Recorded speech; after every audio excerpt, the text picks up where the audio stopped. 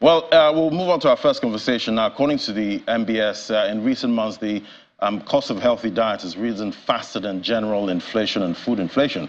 With rising costs of um, living, the word palliative is, be, is being talked a lot about right now um, after the COVID-19 um, scourge. But how can the right people get the palliatives and what can be added to make it more um, effective? Joining us for that conversation now is Zouera Youssoufou, Managing Director, CEO of the Aliko Dangote Foundation. Um, joining me right here in the studio. Great to have you.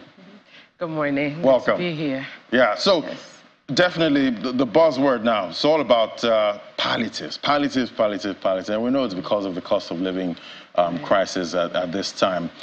But there is that risk that the people that really need these palliatives, most of the time, they don't really get it. What's the way around this?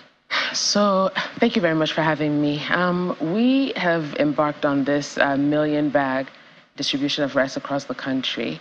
Um, the initial impetus for this was Ramadan, right? So we do Ramadan feeding every year, focusing on the Muslim communities in particular.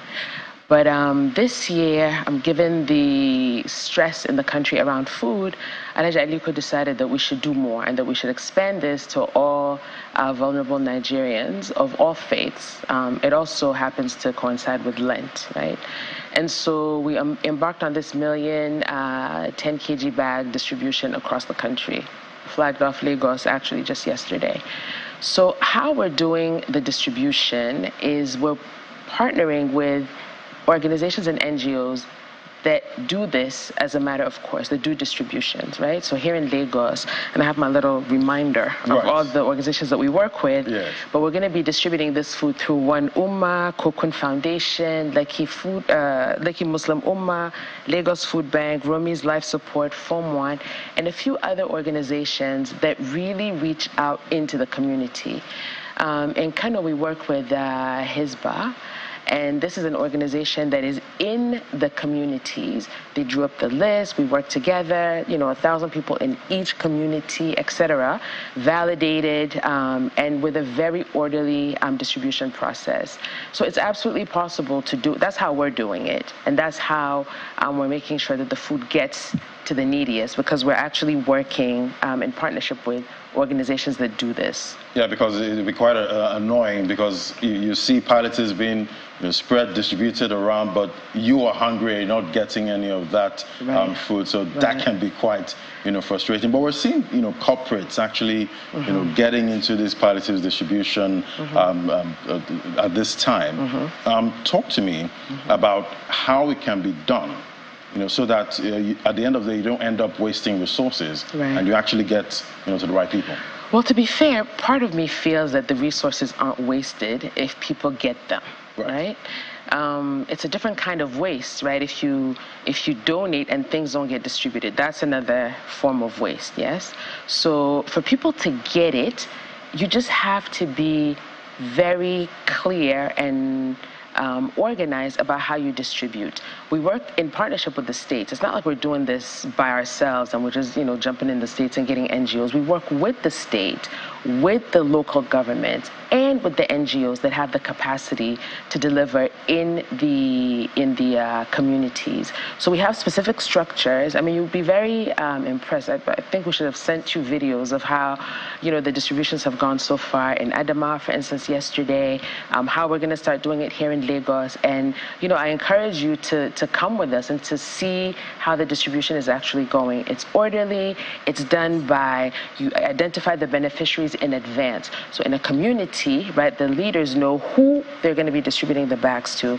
Issue a voucher, you show up with your voucher, and you get your bag on a specific day. So there's no queue, there's no, I mean, there's a queue, but there's not like a, it's not a free for all kind of a setup. And so we were very specific to design it that way because the goal is to really reach 1 million vulnerable uh, households in Nigeria, in all our 774 LGAs, regardless of faith, in this holy month of Ramadan. And we know some other corporates might be looking to actually, you know, get involved uh, with this. What do you think should be the first step? You know, if you're a corporate looking to, you know, get involved in helping right. the less privileged at this time. I think there's so many things that people can do. The needs are many, right? It's not just food. People need everything. Um, if you think about medical supplies and medicine, you know, common drugs that people are struggling to get, um, the cost of you know, let me not call any brands, but like the cost of like blood pressure medicine or, you know, diabetes have skyrocketed. So what are people supposed to do?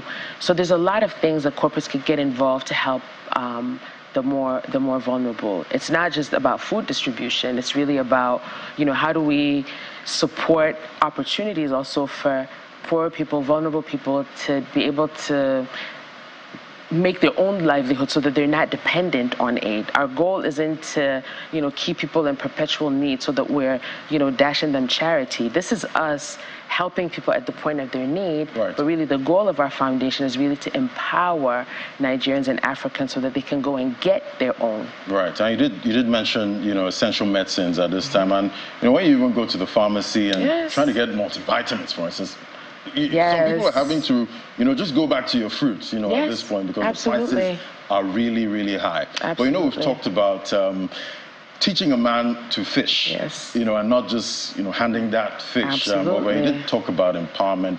Uh, walk us through how that works, you okay. know, for you. All right. So, I mean, we're all familiar with the concept. You can you know, help people forever. First of all, you'll never be able to help everybody. Right. And then the goal is for people to come out of that situation. So we work on, um, we have several initiatives that are in the empowerment space, including our micro grant program. We did this in Lagos a few years ago. We've done it across 13 states so far. Um, no, across 20 plus states, we have 13 states to go so far. And the goal is to reach the thousand most vulnerable women in each local government area. We give them a grant, in some cases a phone, for them to start an activity. And that is a very direct um, poverty reduction intervention. People need um, education, they need training, they need skills. So we have skills acquisition centers. We have one in Kano. We've supported universities. Um, we're supporting training programs because what we want is for people to be able to lift themselves out of the circumstance that they're in that's also why nutrition is so important to us because from the beginning of your life, if you don't get it right, if children don't have access to the right food in the first thousand days of their lives, then it's going to be impossible for them to rise up to the level of their God-given potential. So these are all the things that the foundation is um, involved in doing. Right, and we've but, seen the cost of healthy food actually rise. You know, yes. From, I think the NBS started tracking that recently, and yes. it, it, did go up from January, you know, into yes. February. But mm-hmm. you know, talk to me now about um, boosting food production mm-hmm. in um, Nigeria. What mm-hmm. for you is the way to go about this? So I think that there's a there's a misconception amongst young people that agriculture is just you know for villagers and for poor people, and that it's not an attractive and lucrative business. On the contrary, right? We all have to eat. Um, even in the Dangote Group, we have a rice project that is going to be producing a million tons of rice a year. Um, that gives jobs to the farmers that are growing the rice. That you know empowers the community where the rice is being grown. We have our own farms. We also have the outgrowers who live in the you know around the communities where our uh, rice growing um, operations right. are. And so the, what we're trying to do is really incentivize people to go and farm.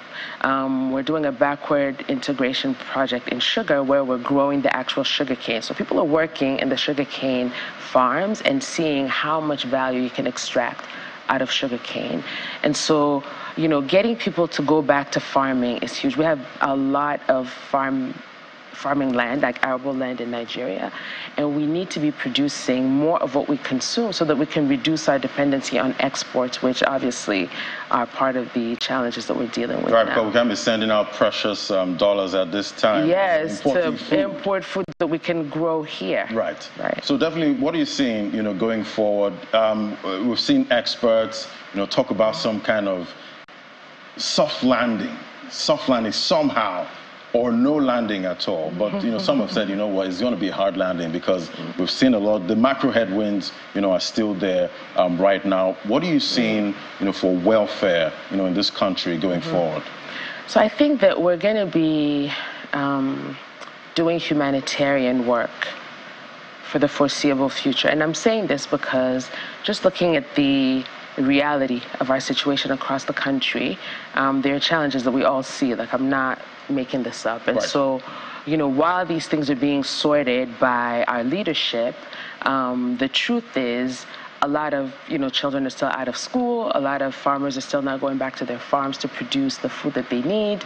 So there's a lot of um, there's a lot of need that we need to address immediately. And so, you know, even speaking with the uh, governor of Lagos yesterday, he was saying how you know they also are doing a very big um, palliative drive and you know really trying to support people because right now, um, in the near future, the needs are really still quite um, severe. Right, and, and definitely we're hoping, you know, going forward, Of course. we don't have to work with palliatives Of course, anymore. we don't want to ever we don't ever want to have to say palliatives again. Exactly. We never want to say Get rid of that you know word. Yes, we need you know everybody to just be working and you know taking care of themselves and, And doing what needs to be done. All right, thank you so much. It was great having your perspective. Thank you uh, with. Zura Youssoufou, Managing Director, CEO of Aliko Dangote uh, Foundation. It was great having your perspective today. Thank you so much. Lady.